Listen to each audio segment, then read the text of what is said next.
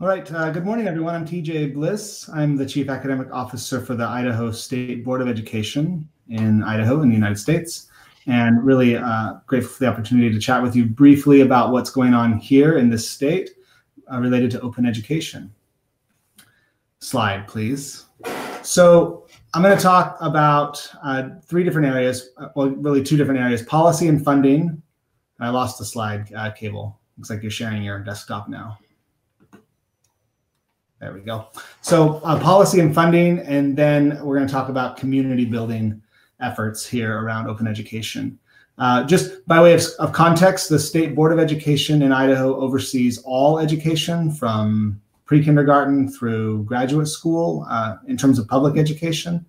My work focuses primarily on higher education, uh, but I do have conversations on the K-12 side occasionally as well. So I'll be talking specifically about higher education in Idaho and what work's going on with open here. And there are other things happening in K-12, which I'm not going to address today.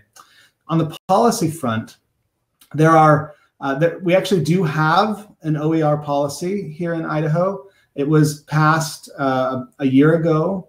Uh, there, there was input from the community that turns out was not really uh, attended to very well. And so the policy is not in the state that it needs to be. And we've heard a lot of feedback from faculty. It basically mandates uh, the use of open education in, in general education courses. And I think we all know that mandating OER is not a good way to go, especially unfunded mandates. So we're working, uh, Jonathan Lashley is my Associate Chief Academic Officer, and he leads our OER efforts in the state. And some of you may know him. Uh, he's been in the OER field for a while.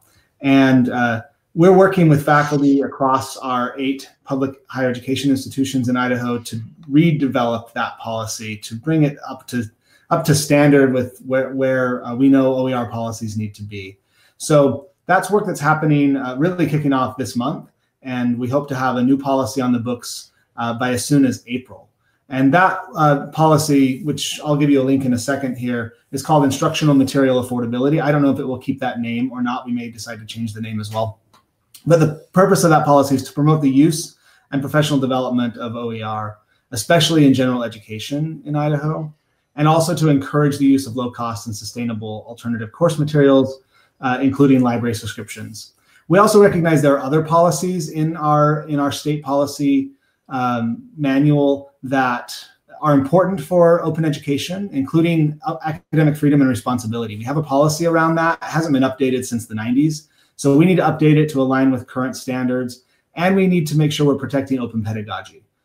Uh, there also is a student policy that has academic freedom and responsibility language in it. We want to update that language as well.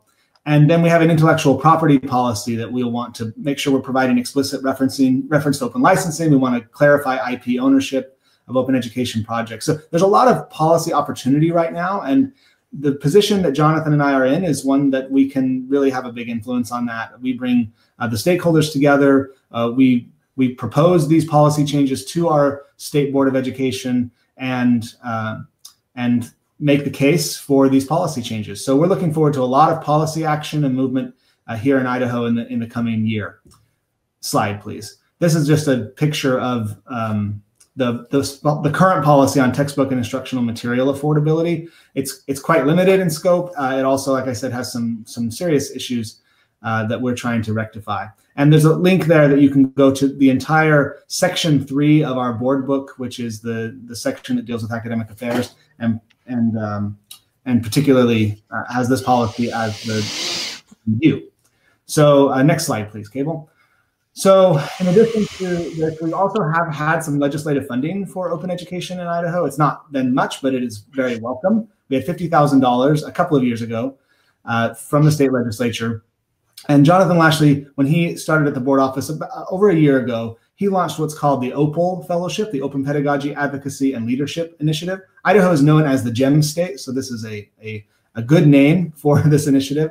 And the focus on this of this fellowship is not so much content creation as it is leadership development. The outcome is also content creation, and I'll show you some of that outcome.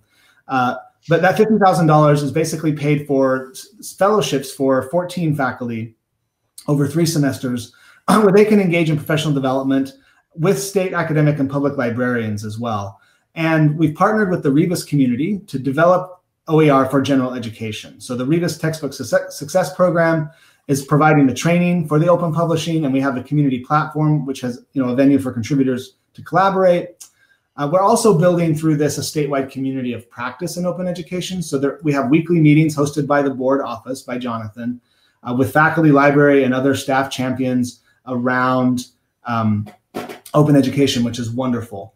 And that's going to grow over time. We also have the, the current Opal projects um, is a, include a first year writing textbook aligned with state outcomes, as well as college algebra. We have languages, German, Spanish, and French OER, and, and they're in, using H5P, which has been mentioned a lot today.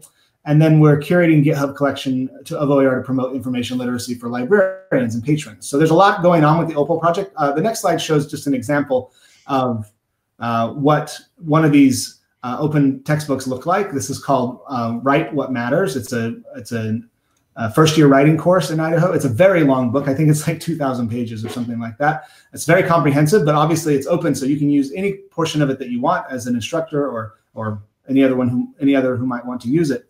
And this also is published on on Pressbooks, which I'll talk about in a, in a moment as well in terms of our community building.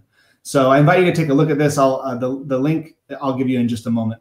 So uh, the next slide is the last one about policy and funding. So we have joined with four, three other states and the Rebus Foundation to uh, apply for the U.S. Department of, Open Edu of Education Open Textbook Pilot Grant with a project called Idea for OER, which is four states committed to inclusion, diversity, equity, and accessibility, with the goal of improving student success through collaboration and advancing open educational resources in high demand fields. So fingers crossed that we might be uh, successful in receiving some funding, more funding from the federal government here in the United States to, to promote uh, the development of open textbooks across our higher education institutions. So then just the last slide here uh, around community building. So what we've been able to do is we've paid for a, a Pressbooks license for the entire state. All higher education institutions have access to Pressbooks, and you can go to idaho.pressbooks.pub and see what's being developed including this OER, a field guide for academic librarians. Jonathan, Lashley and colleagues developed. That writing textbook is there as well. And this is helping us promote OER development at our institutions and providing the tools for them. And in terms of broader open education community, we have a statewide membership in the Open Education Network where we helped plan and participated in the 2020 Open Education Conference. And we're also uh, advising regional and consortial OER initiatives here in the West, uh, in the Western United States including through WCET and WICHE.